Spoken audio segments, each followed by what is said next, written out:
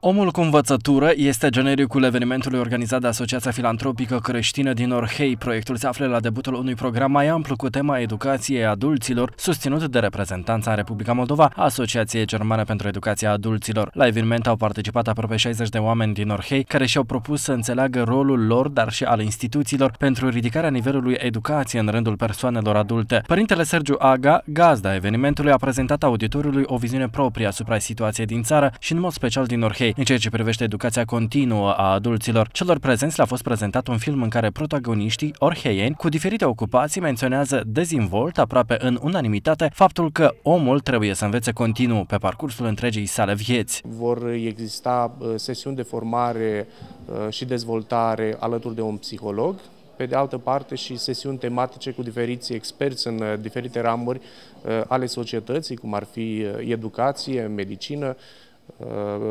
cum ar fi uh, jurisprudență, uh, spiritualitate, de ce nu, administrație publică și de ce nu chiar și politică.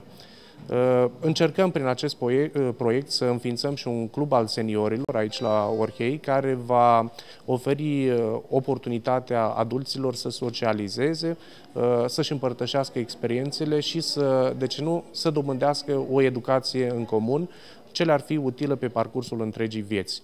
Întrucât uh, educația aceasta continuă uh, este necesară atât uh, pentru populație în ideea că toate se schimbă atât de rapid încât fără o adaptare, fără o creștere în știință, în învățătură, ar fi practic imposibil de rezistat în condițiile actuale.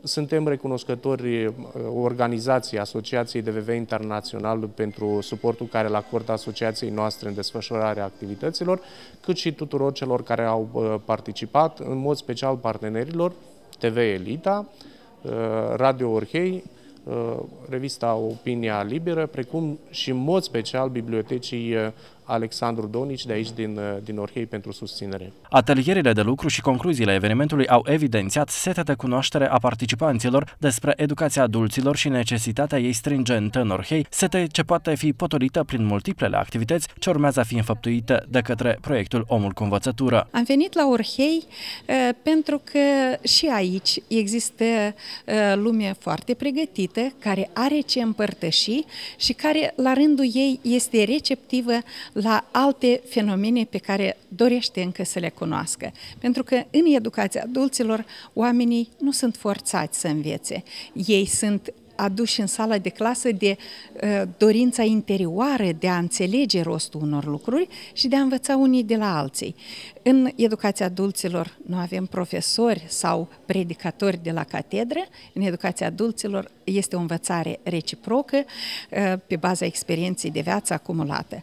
Uh, proiectul va consta din câteva activ- din mai multe activități, ședințe cu psiholog profesionist care o să le explice uh, beneficiarilor modul de funcționare a schimbării în noi și o să-i provoace la schimbare, precum și ședințe tematice la solicitarea beneficiarilor beneficiarilor nemijlociți.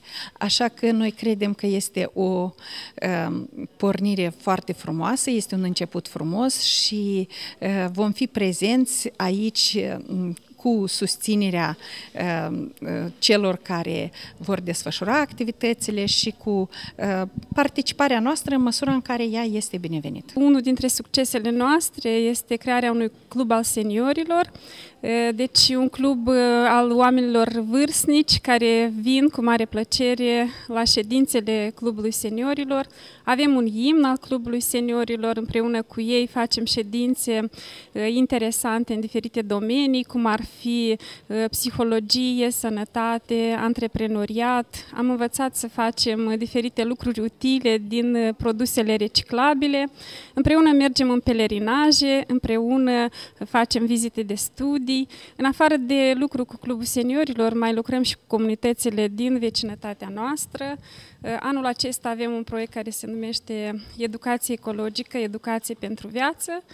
În cadrul proiectului am făcut uh, diverse traininguri, dar și masterclass-uri, unde am confecționat lucruri utile. Sper că și cei de la Orhei se vor molipsi de ideile noastre frumoase și mai ales seniorii vor urma și ei lozinca noastră deschide portița, vino să fim împreună. Potrivit organizatorilor, la masa rotundă a fost accentuat interesul de cunoaștere a participanților despre educația adulților și necesitatea ei în Orhei.